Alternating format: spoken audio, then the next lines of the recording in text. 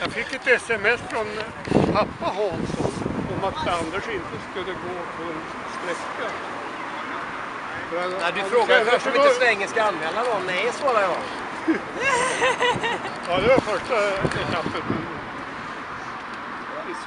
Förra söndagen, eller i söndags. Hur känns det Anders? Hänga med ett tag. ja, det som träning. Det är skönt att vara i mål. Kan inte, Kan inte göra en till ska du om anmäla Anders? till ett SM med inriktning att bryta? Det verkar konstigt. Fortsättning på att TV4 inte blir bevakade.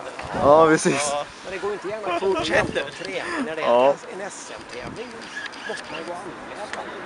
Tycker jag. Det är klart man ska vara anmäld. Grattis förresten. Inte bara.